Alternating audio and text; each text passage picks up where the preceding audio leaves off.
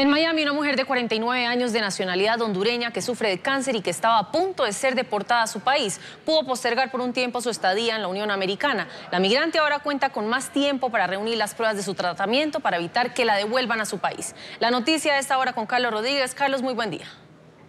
Como tú lo has dicho, Reina Gómez, una mujer de 49 años que está luchando contra el cáncer y la amenaza de una deportación a su país natal, Honduras, pues ganó una batalla en su guerra judicial para quedarse aquí en los Estados Unidos cuando funcionarios de inmigración del servicio ICE pues retrasaron una decisión final en su caso. Su abogada informó que los funcionarios de ICE indicaron que la decisión sobre la solicitud de asilo de Gómez pues vendría en dos semanas.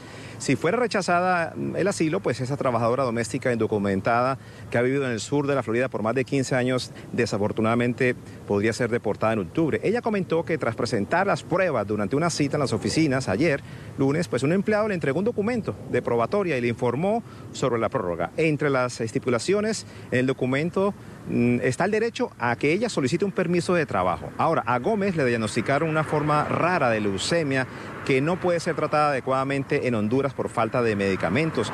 Ella ha comparado su deportación con una sentencia de muerte. Gómez dijo también que ella huyó de la violencia y una relación abusiva en Honduras y desde que se llegó a Estados Unidos, pues ha trabajado para convertirse en un residente productivo.